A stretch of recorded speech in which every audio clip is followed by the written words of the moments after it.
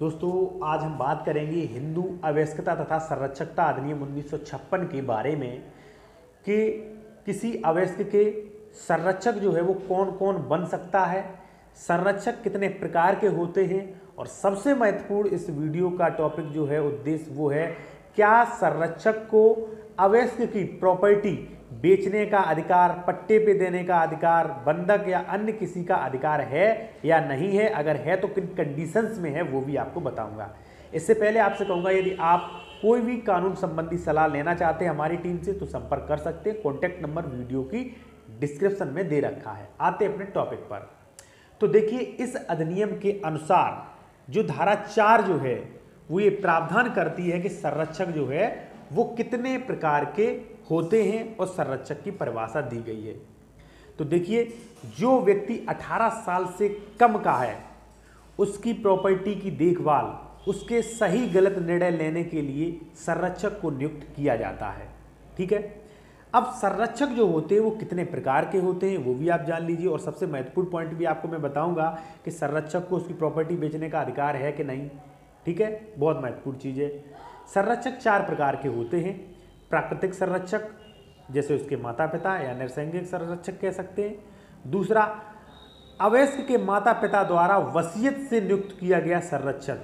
ठीक है? अवैस्क के माता पिता बीमार हैं तो वो वसीयत भी कर सकते हैं कि हमारे मरने के बाद ये व्यक्ति हमारे बच्चों का संरक्षक बने। ठीक है? दूसरा वो। तीसरा, न्यायालय द्वारा घोषित या नियुक्त किया गया संरक्षक। चौथा कोर्ट्स ऑफ़ वाइट से संबंधित किसी अधिनियम के द्वारा अंतर्गत इस रूप में कार्य करने के लिए अधिकृत व्यक्ति तो चार प्रकार के संरक्षक हो गए हैं।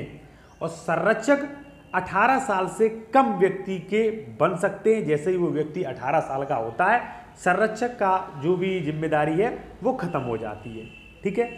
अब हम सबसे महत्वपूर्ण पॉइंट पे बात करेंगे कि संरक्षक जो है चाहे कि चारों संरक्षक में से कोई भी संरक्षक हो, चाहे भले ही उसके माता पिता संरक्षक हों, क्या उन्हें उस अवैस्क की प्रॉपर्टी बेचने का अधिकार है कि नहीं है?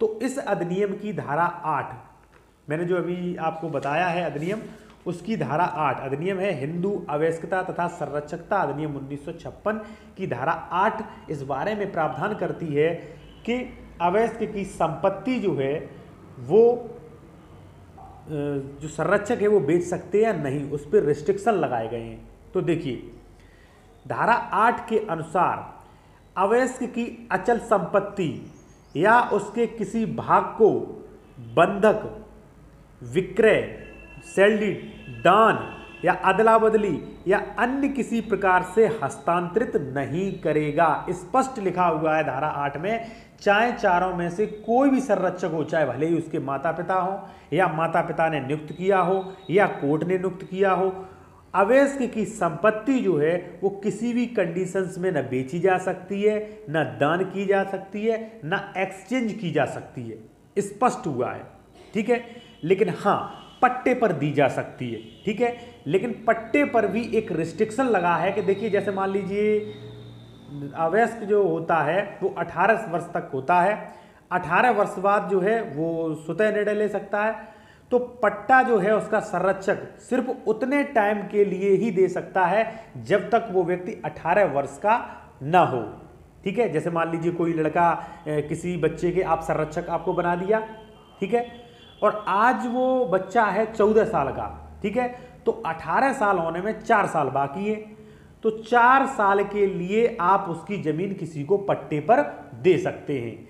अगर आपने, मान लीजिए वो लड़का आज चौदह साल का है और आपने किसी को दस साल के लिए पट्टे पर वो ज़मीन दे दी तो वो ज़मीन केवल चार साल तक ही वैलिड पट्टा रहेगा। जैसे ही वो 18 साल का हुआ, वो अपना निर्णय बदल सकता है, वो अपना पट्टा जो है, वो खारिज करवा सकता है, शून्यकरण करवा सकता है। ठीक है? अब आपको स्पष्ट कर दिया कि प्रॉपर्टी बेचने का अधिकार नहीं होगा।